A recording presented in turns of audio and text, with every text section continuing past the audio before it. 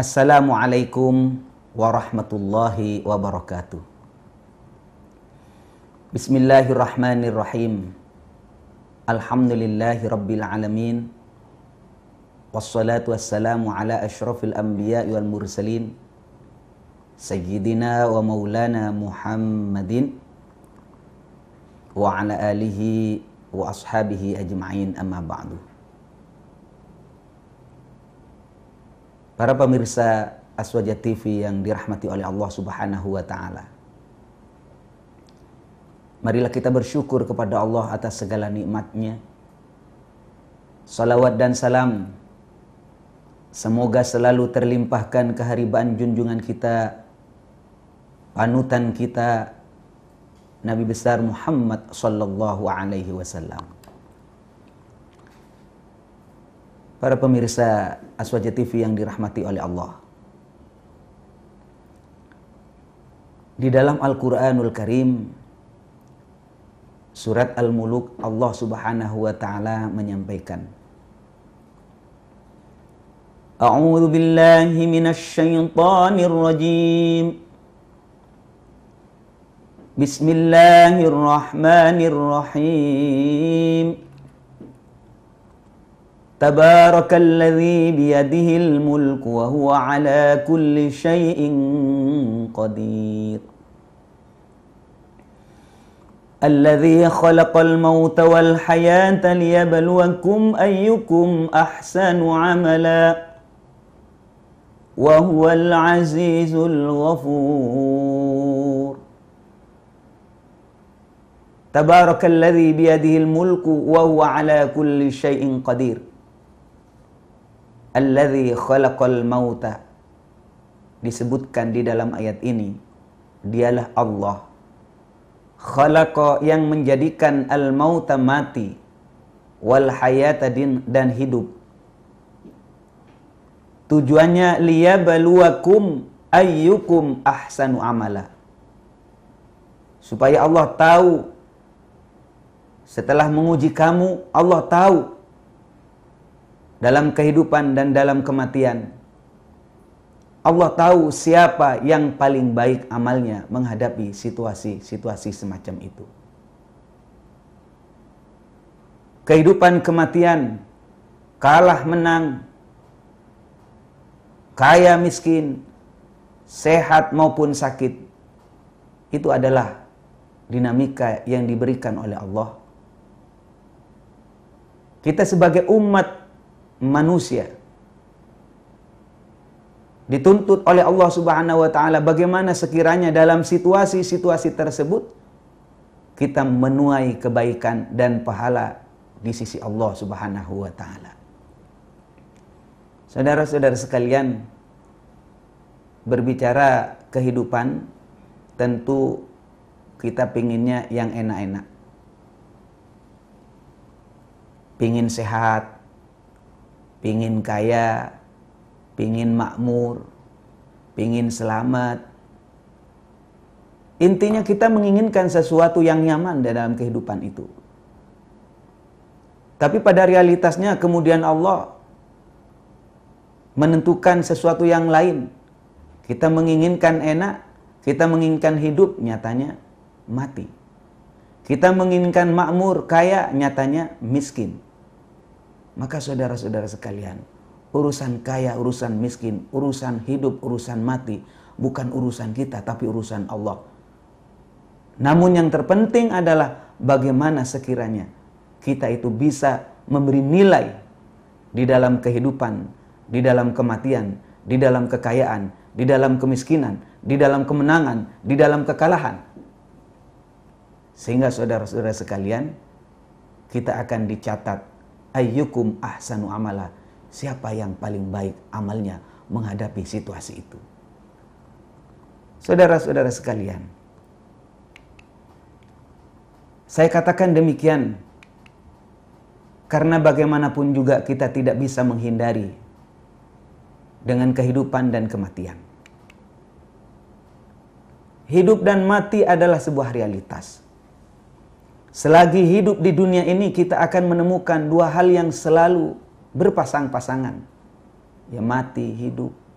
sehat, sakit, kaya, miskin, suka dan duka. Maka saudara-saudara sekalian, dalam kesempatan ini ada dua hal yang ingin saya tekankan.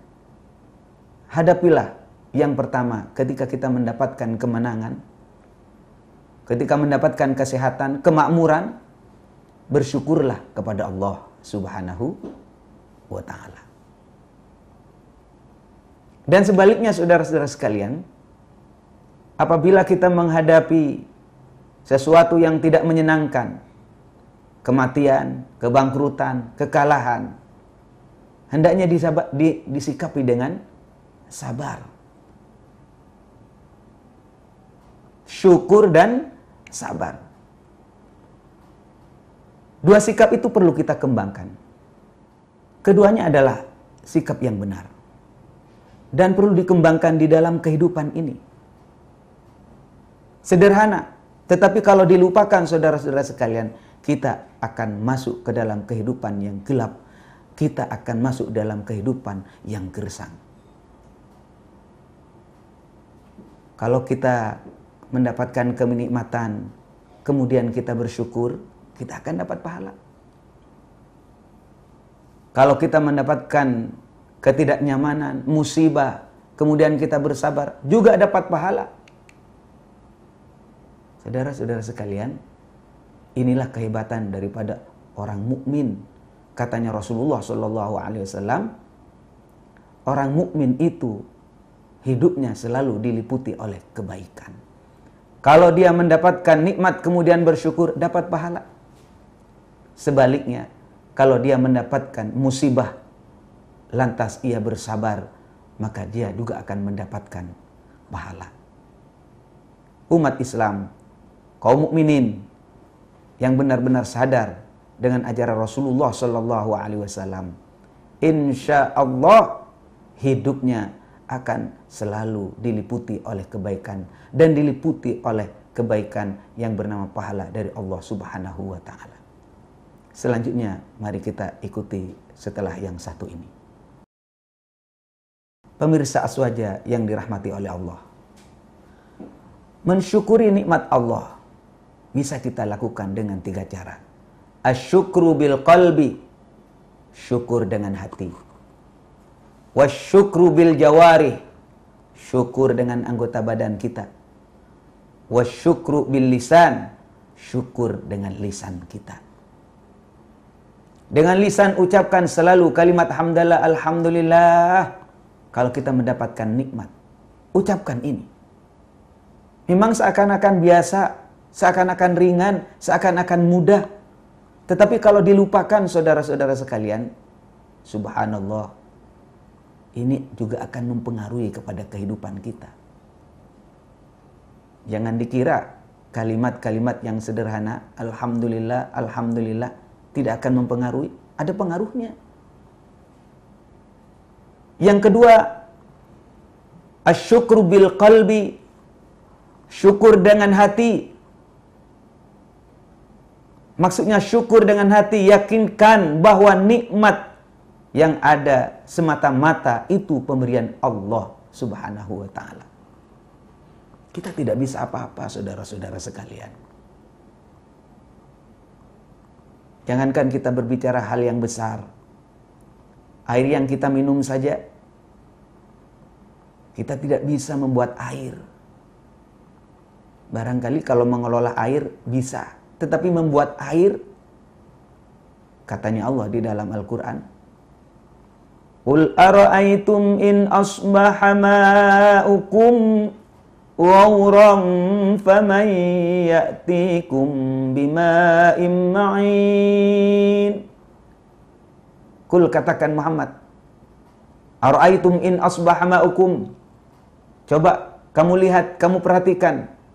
Bagaimana kira-kira kalau air yang kamu minum itu, air yang kamu pakai itu, kemudian ambles, tidak keluar lagi, tidak nyumber lagi, famayyatikum bima imain. Siapa yang bisa mendatangkan air? Siapa yang bisa mengeluarkan air? Kita jawab, Allahu Rabbuna wa Rabbul Alamin. Hanya Allah yang bisa mengeluarkan air tersebut. Inilah saudara-saudara sekalian, sehingga kita yakin, jangankan berbicara kesehatan, berbicara hal-hal yang besar di dalam lingkungan kita, nikmat yang diberikan oleh Allah kepada kita. Sesuatu yang sederhana, minuman yang kita minum di dalam keseharian kita. Sebenarnya adalah sesuatu yang besar. Dan kita tidak bisa apa pun kecuali dengan izin Allah Subhanahu wa taala. Yang ketiga saudara-saudara sekalian, asyukru bil jawarih. Syukur dengan anggota badan kita. Jadikan nikmat sehat jasmani ini sebagai sarana untuk beribadah kepada Allah Subhanahu wa taala. Mulai dari ujung kepala sampai ujung kaki, jadikan untuk ibadah kepada Allah. Kalau ini yang Anda lakukan, kalau ini yang kita lakukan, maka berarti kita sudah mensyukuri nikmat Allah Subhanahu wa taala. Saudara-saudara sekalian, itulah yang harus kita lakukan di dalam mensyukuri nikmat Allah. Yang kedua, di dalam kita menyikapi kehidupan yang lain, di saat kita mendapatkan musibah, kematian, kekalahan, kebangkrutan, sakit.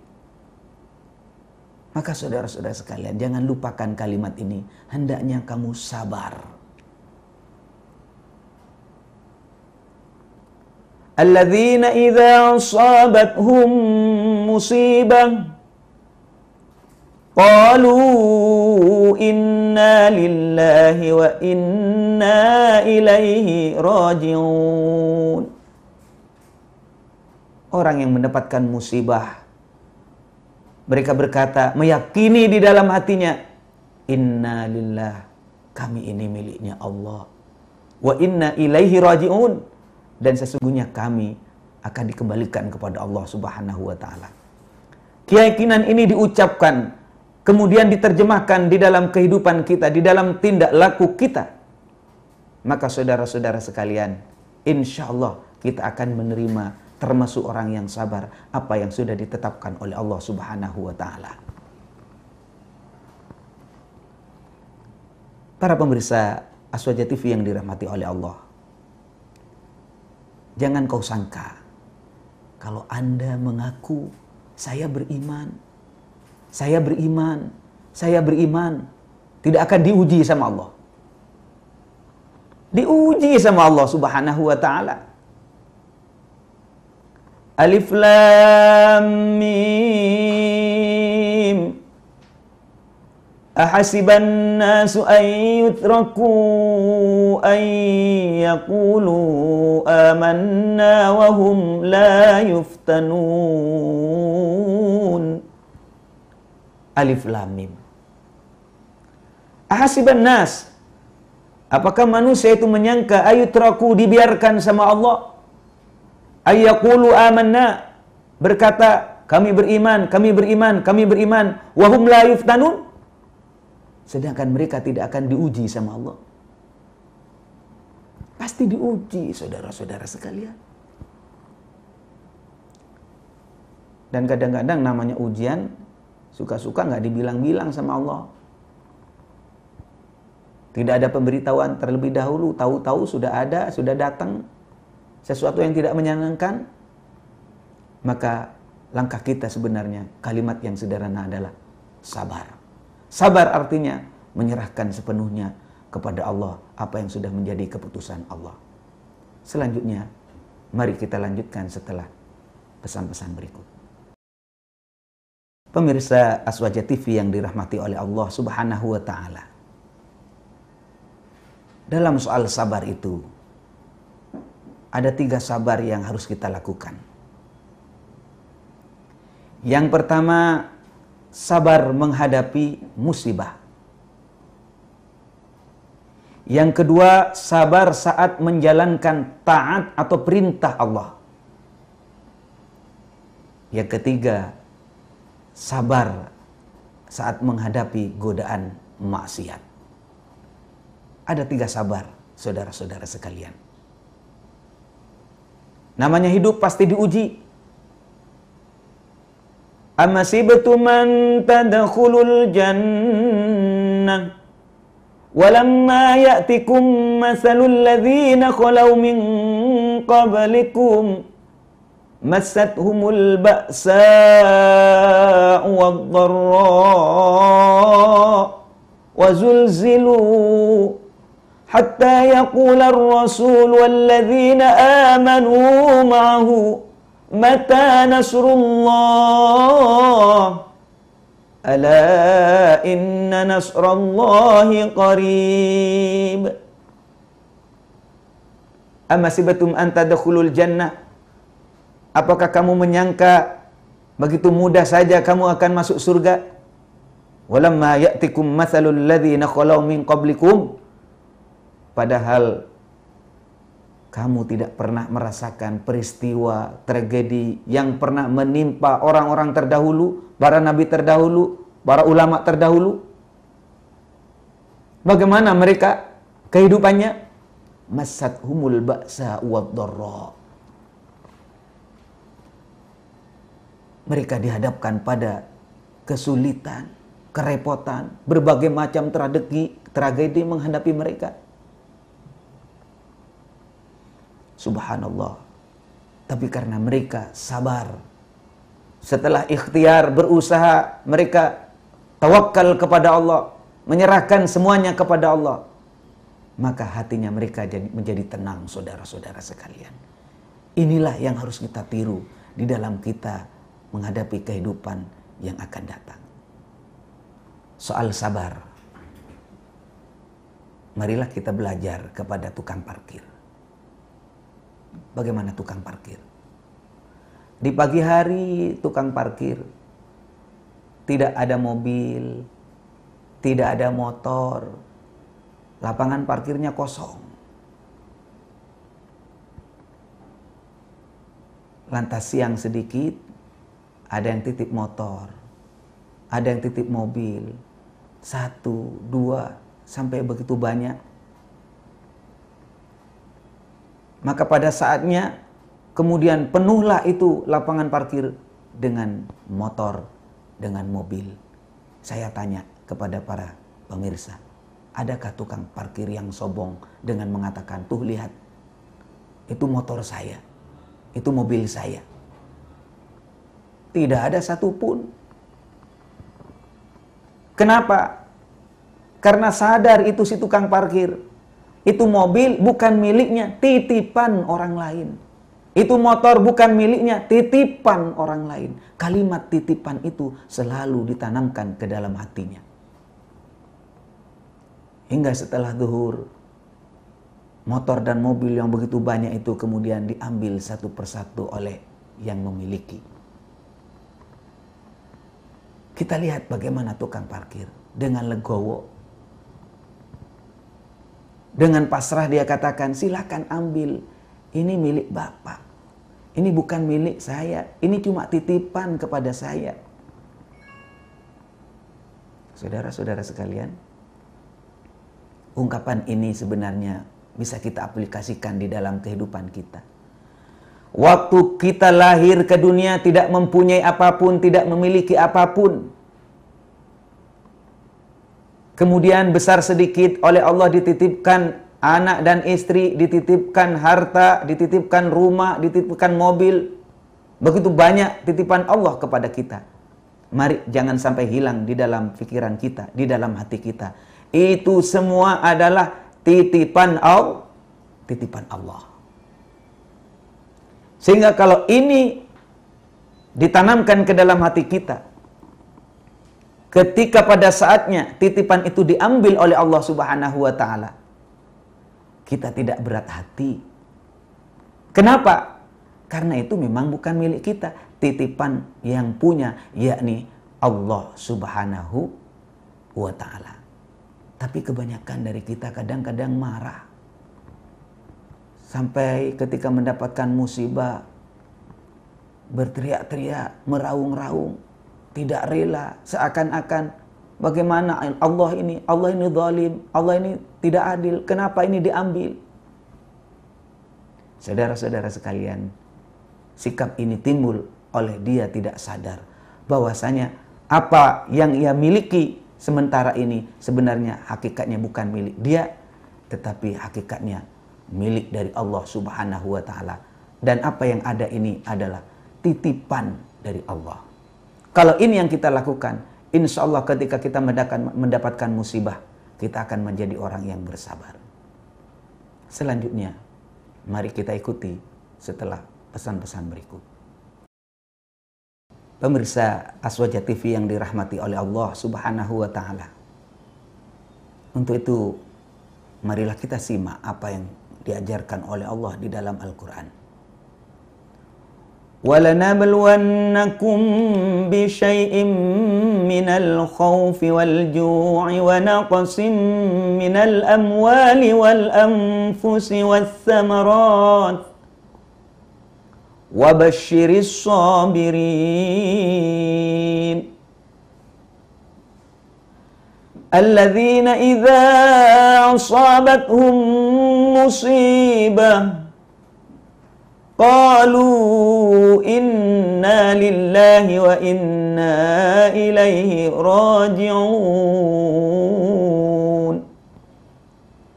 أولئك عليهم صلوات من ربهم ورحمة وأولئك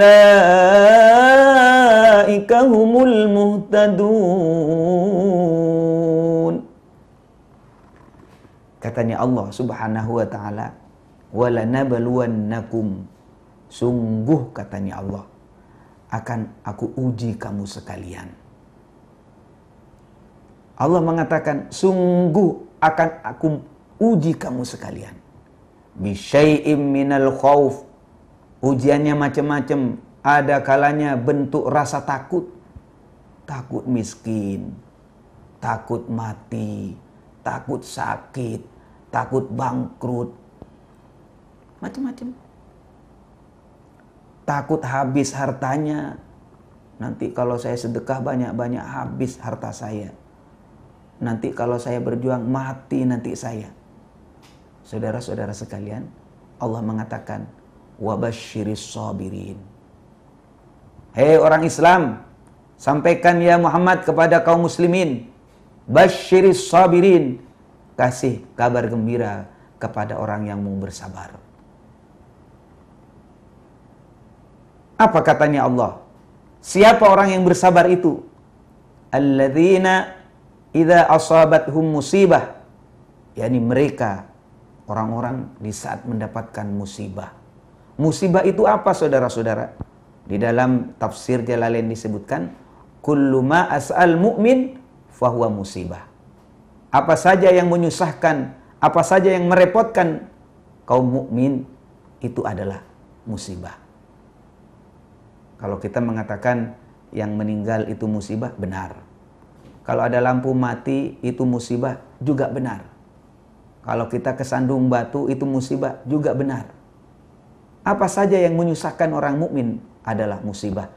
Dan orang mukmin ketika mendapatkan musibah dalam hatinya, lisannya mengatakan